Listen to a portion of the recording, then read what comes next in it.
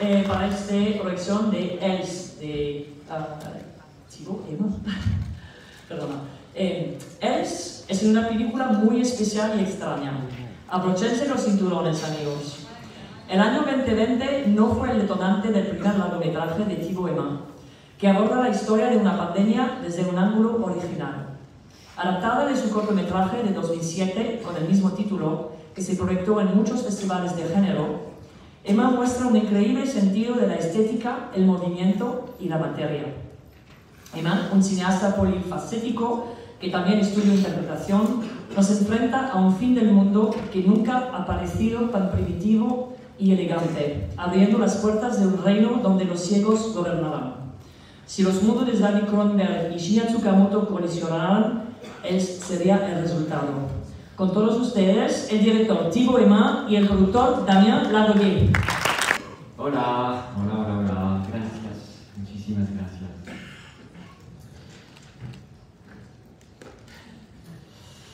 Me fui a ver muchas pelis en el festival y me encanta el ambiente.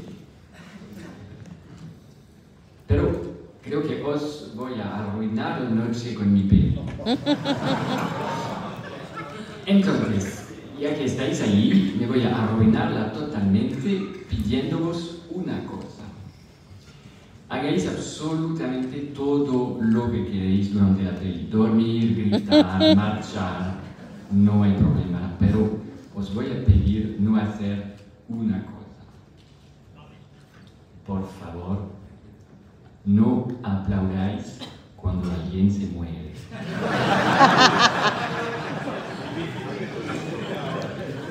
La muerte es algo muy real para mí. La historia del personaje es la mía. Cuando cuenta su pasado, es el mío. Hay fotos y papeles que son reales. Y cuando yo vi la muerte, no aplaudí. El cine me ha permitido sobrevivir. Entonces, para mí no es un entretenimiento. Esta peli me ha costado 14 años. No fueron años de alegría.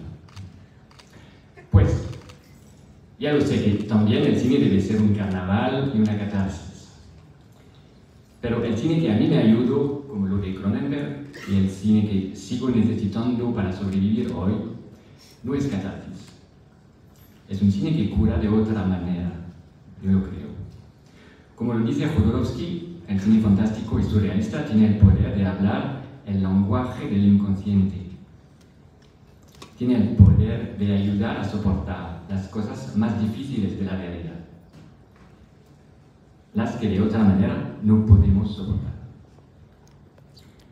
Pues no estoy diciendo que mi peli tiene ese poder, ¿ok? Es una película pelada, kitsch, francesa, totalmente what the fuck. Y la sola cosa que yo sé, por cierto, es que solo va a gustar a 1% de vosotros.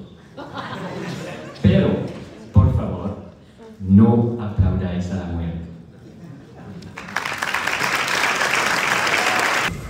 Je tenais à vous remercier, à remercier le festival pour cette sélection parce que c'est un grand honneur et un très grand plaisir d'être parmi vous.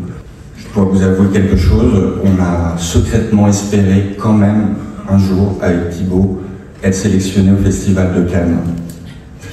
Mais j'ai réalisé en étant présent parmi vous justement euh, à Cannes, personne n'applaudit quand les gens meurent dans d'atroces souffrances, ni quand les monstres surgissent et euh, créent des crises cardiaques. Euh, donc finalement, je crois vraiment que le film a toute sa place ici, au contraire. Mais surtout n'applaudissez pas quand les gens meurent. Et vraiment, nous on fait une proposition de cinéma et on sait que vous êtes le public pour ce vraiment, c'est un grand honneur d'être parmi vous. Et merci encore.